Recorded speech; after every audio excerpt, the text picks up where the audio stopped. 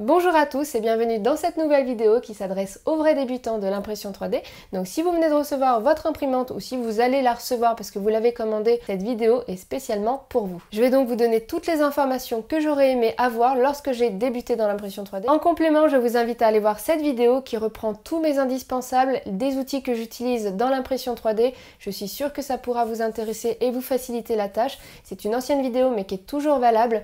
Je vous mets le lien ici euh, en haut à droite de votre écran dans le petit i. Évidemment, il y a énormément d'imprimantes différentes sur le marché. Je ne vais donc pas pouvoir vous donner exactement les informations de votre imprimante, mais je vais essayer de parler de manière générale pour que ça puisse s'adapter au plus grand nombre d'entre vous. La première chose que je vous conseille après montage de votre imprimante, c'est de vérifier tous les réglages. Sur une imprimante similaire à celle-ci, c'est-à-dire avec une structure constituée de profilés aluminium et ce système de, de structure là comme ça, vous avez trois points de vérification. La première chose à vérifier, c'est au niveau de la tête d'impression. Il faut que cette partie-ci soit bien stable sur l'axe X, donc le profilé ici en aluminium. Donc si vous voyez que c'est pas bien fixé quand vous faites bouger cette partie-ci, vous allez en dessous et vous avez un écrou excentrique. Vous le tournez un petit peu jusqu'à ce que vous voyez que ça se resserre sur le profilé aluminium et une fois que c'est bon, vous verrez que ce sera bien plus stable. Comme vous pouvez le voir de ce côté-ci, on a un autre écrou excentrique et tout simplement à chaque fois que vous voyez un écrou excentrique, c'est que vous pouvez resserrer quelque chose. Donc là, ça se situe plutôt sur euh, l'axe X. Si vous voyez qu'ici c'est euh, pas stable, que ça bouge trop facilement, vous resserrez cet écrou, de manière à resserrer ces deux parties-là sur ce profilé alu. Et la dernière vérification à faire se situe au niveau du plateau. Vous devez voir que quand vous le bougez, il est stable, qu'il n'y a pas de jeu au niveau du profilé en dessous. Si c'est le cas, vous allez en dessous et là encore, vous avez des petits écrous excentriques qu'il faudra resserrer sur le profilé pour rendre le plateau bien stable. Alors la vérification à effectuer, c'est donc de le bouger comme ça, de voir qu'il n'y a pas trop de jeu, et aussi de le bouger sur son axe et euh, voir et vérifier qu'il n'y a pas trop de résistance, sinon le moteur derrière va peiner et euh, l'impression va euh, moins bien se dérouler. Maintenant que tout est stable, nous allons pouvoir régler la hauteur du plateau par rapport à la buse. Donc si vous avez une imprimante avec des molettes aux quatre coins du plateau, eh bien vous pouvez suivre le point suivant. Il faut aussi savoir que si vous avez une imprimante avec un capteur de plateau, comme le BL Touch par exemple, vous n'êtes pas épargné du réglage, puisque le BL Touch et autres capteurs du même style va simplement vous servir à compenser le mauvais réglage de votre plateau. Donc si vous avez un plateau pas totalement lui va compenser au fur et à mesure de l'impression pour bien suivre l'inclinaison du plateau et du coup il va compenser en effet le mauvais réglage de votre part mais aussi le déréglage qui se fait naturellement avec le temps. On peut maintenant allumer l'imprimante et trouver dans le menu le mode Auto Home. Ce mode va permettre à la buse de se déplacer jusqu'au point d'origine ce qui va nous permettre de régler le plateau en fonction de la hauteur de la buse. Retournez ensuite dans le menu et choisissez Disable Steppers afin de désactiver les moteurs. Faites glisser une feuille entre la buse et le plateau et ajustez la molette qui se trouve juste en dessous. En bougeant le papier, vous devez sentir que la buse gratte sur ce dernier. Vous devez avoir une légère résistance sans pour autant que le papier reste coincé. Quand le premier coin est fait, vous refaites exactement la même manipulation sur les trois autres.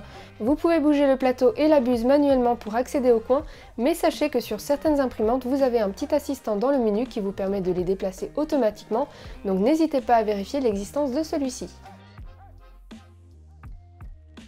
Une fois que vous avez fait les quatre coins, n'hésitez pas à les vérifier de nouveau étant donné que vous avez réglé le premier point alors que tous les autres n'étaient pas ajustés. Finissez ensuite par vérifier le milieu et le milieu des coins. Pour savoir si le plateau est bien réglé, je sais que c'est pas évident au tout début quand on commence, ça se fait avec le temps, avec l'expérience, regardez toujours la première couche de votre impression. Si vous voyez que le filament n'adhère pas suffisamment au plateau, c'est euh, probablement parce que votre plateau est trop loin de la buse, donc rapprochez-le un petit peu, remontez-le un petit peu. Si par contre vous voyez qu'au passage de la buse, vous ne voyez pas de filament se déposer sur le plateau, c'est que au contraire, vous avez le plateau qui est trop proche de la buse et du coup va boucher la sortie et le filament ne pourra pas en sortir pour être déposé. Donc là, au contraire, euh, vous devez baisser le plateau pour euh, laisser un espace suffisamment grand entre le plateau et la buse. Et enfin, vous saurez que votre plateau est bien réglé tout simplement en touchant cette première couche d'impression. Si elle est bien régulière, qu'il n'y a pas de trou entre les allers-retours de la buse et que c'est doux au toucher, alors votre plateau est bien réglé. Si vous avez un plateau en bultag, je vous conseille de faire attention à ne pas être trop près de la buse Si c'est le cas, vous allez peut-être avoir des difficultés à décoller votre impression et même attacher votre plateau avec du plastique que vous n'arriverez pas à retirer. Et d'ailleurs, si c'est le cas, ça peut arriver, ça m'est arrivé. J'ai trouvé une petite astuce pour régler ce problème. Je vous invite donc à aller voir cette vidéo en cliquant ici sur le petit i. Maintenant que tout est réglé, l'imprimante est opérationnelle et peut imprimer. Il faut savoir que quand elle est livrée, généralement vous avez une carte SD qui est fournie avec un fichier d'impression qui est à l'intérieur. Je vous conseillerais toujours de commencer par imprimer ce fichier d'impression, tout simplement parce qu'il est généré par le fabricant et que vous serez sûr qu'il sera bien adapté à votre imprimante. Donc si l'impression se déroule mal euh, suite à cette impression-là, c'est que forcément il y a un problème sur l'imprimante. Donc vérifiez bien le montage, le câblage et vérifiez les petits réglages qu'on a vus précédemment. Une fois que cette vérification facultative mais conseillée est faite, vous pouvez maintenant commencer à imprimer vos propres modèles. Donc vous avez la possibilité de récupérer ces modèles sur des sites internet comme par exemple Thingiverse, Cult 3D ou encore My Mini Factory, ce sont en général les trois que j'utilise le plus personnellement. Je vous mettrai les liens dans la description si vous ne connaissez pas encore ces sites, n'hésitez pas à aller les voir.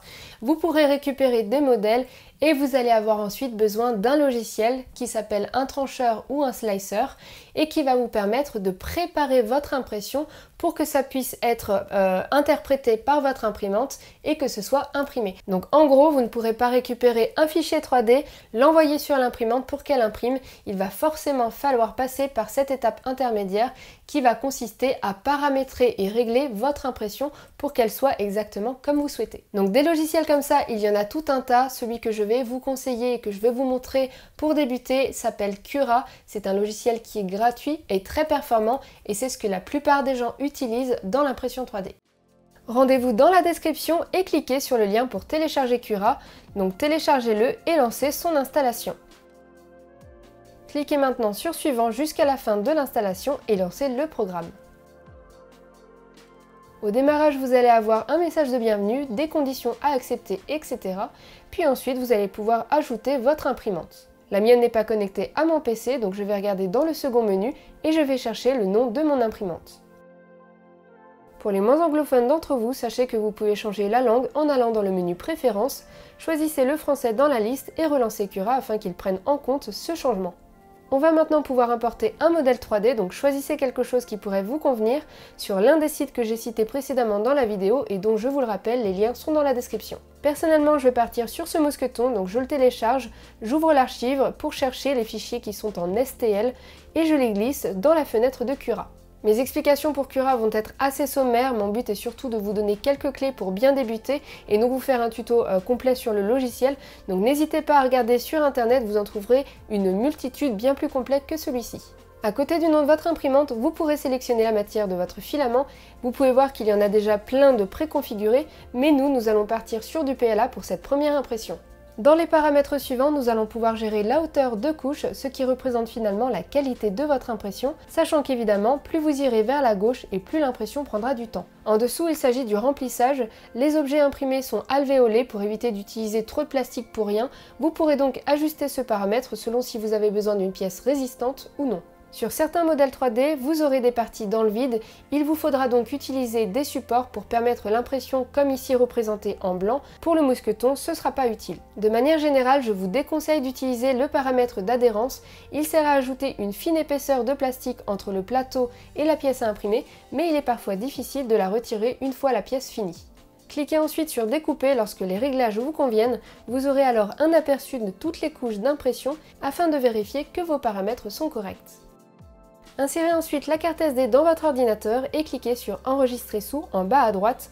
On vous confirme l'enregistrement et cliquez sur Éjecter pour retirer la carte SD en toute sécurité. Avant de passer à l'impression, je voulais d'abord vous faire une petite parenthèse sur Cura. Sachez que ces quelques paramètres sont loin d'être les seuls et avec le temps, vous aurez besoin d'approfondir les réglages. En cliquant sur Personnaliser, vous trouverez tout ce dont vous aurez besoin en dépliant chacun des menus.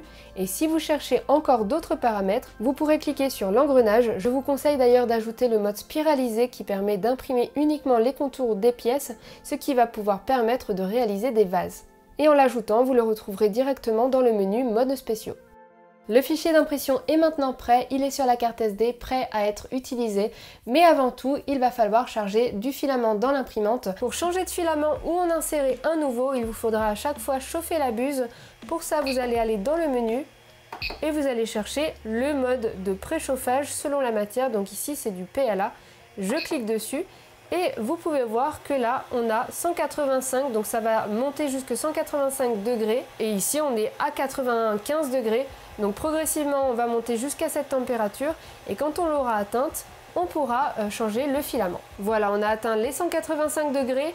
J'ai déjà une bobine à l'intérieur de ma machine. Je vais donc pouvoir retirer cette bobine pour la remplacer par une autre.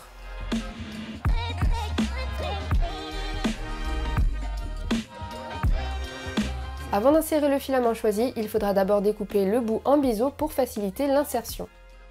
Insérez le filament jusqu'à la buse, puis rendez-vous dans le menu et cherchez l'endroit où vous pourrez bouger les axes.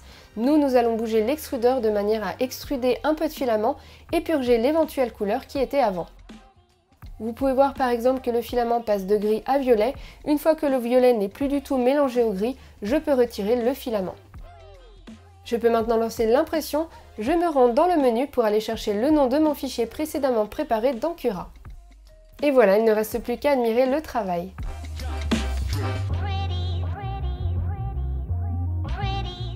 Si vous avez un plateau en verre ou en bultac, il va falloir impérativement attendre que le plateau refroidisse à température ambiante.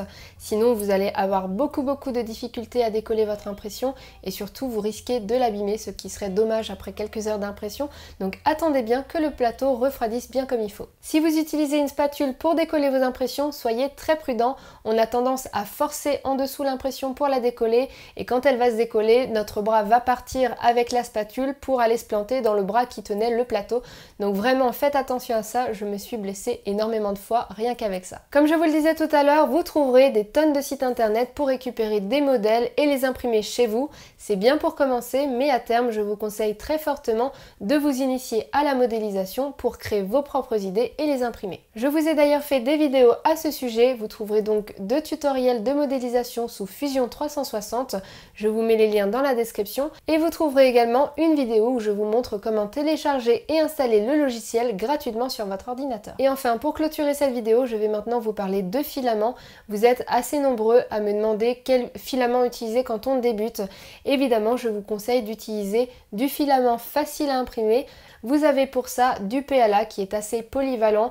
Vous en avez plein de couleurs différentes ou même des styles différents, métallisés, pailletés, phosphorescents ou des couleurs unies. Voilà, vous avez tout un panel de couleurs bien sympa à utiliser. Vous avez quasiment jamais d'échec avec du PLA, donc commencez par là. Personnellement, j'aime beaucoup les Ice filaments. Je vous mets d'ailleurs le lien dans la description. Ce sont des filaments qui sont vraiment pas très chers. Vous avez plein de couleurs et quand vous débutez, ça vous permet d'acheter plein de couleurs sans pour autant casser toute la tirelire. Une fois que vous avez fait quelques impressions avec du PLA, vous pouvez essayer le filament bois. Je vous ai d'ailleurs fait un petit test de filament bois ici. Je vous le mets dans le petit en haut à droite votre écran. Euh, c'est un filament qui est très accessible, très similaire au PLA, donc euh, voilà, vous pouvez l'essayer, c'est sympa. Et à la suite de ça, vous pouvez vous tester au PETG, c'est un filament vraiment très intéressant sur ses propriétés physiques. Il est plus résistant que le PLA et pas trop difficile à imprimer, ou en tout cas beaucoup moins que l'ABS qui a une propriété physique assez similaire. Voilà, ces trois filaments sont pour moi les plus adaptés pour débuter et après vous aurez le temps de regarder un petit peu plus loin comme par exemple le filament ABS euh, qui est un petit peu plus difficile à imprimer, il a tendance à se décoller du plateau, à vriller, à se déformer, donc voilà c'est pas évident, surtout qu'en plus il est assez toxique donc il faut prévoir des aérations. Vous avez aussi les filaments flexibles qui sont très intéressants mais aussi euh, difficiles à imprimer, euh, ils ont tendance à s'enrouler dans le moteur, voilà il va falloir ajouter des petites pièces sur l'imprimante, enfin sur certaines en tout cas, pour faciliter l'extrusion du filament flexible. Donc voilà, vous aurez le temps d'arriver jusque là. Maîtrisez d'abord les trois filaments qui sont le PLA, le bois et le PETG et ensuite vous commencerez à euh, expérimenter d'autres choses. J'espère vraiment que cette vidéo vous aura été utile. Je sais que c'est pas forcément évident quand on reçoit une imprimante de savoir comment s'y prendre et par où commencer. Donc euh, voilà, j'espère avoir regroupé un maximum d'informations pour vous aider. Et pour ceux qui hésitaient à se lancer dans l'impression 3D, bah, n'hésitez plus. On est euh, énormément euh, sur la toile à vous aider pour vous lancer et que euh, bah, voilà, vous ne soyez pas perdu. Comme ici, sur cette chaîne, vous trouverez tout un tas de tutoriels pour vous guider. N'hésitez pas à partager cette vidéo sur les réseaux sociaux et sur les forums. Si ça peut aider d'autres débutants, j'en serai ravie. Vous pouvez également me laisser des commentaires sous cette vidéo. Je ferai mon maximum pour y répondre. Un pouce en l'air, ça fait toujours plaisir. Vous pouvez également vous abonner ici à la chaîne en cliquant sur le lien et en activant la petite cloche qui vous permettra d'être notifié lors d'une nouvelle vidéo. Et moi, je vous dis à très bientôt dans une prochaine vidéo. Bye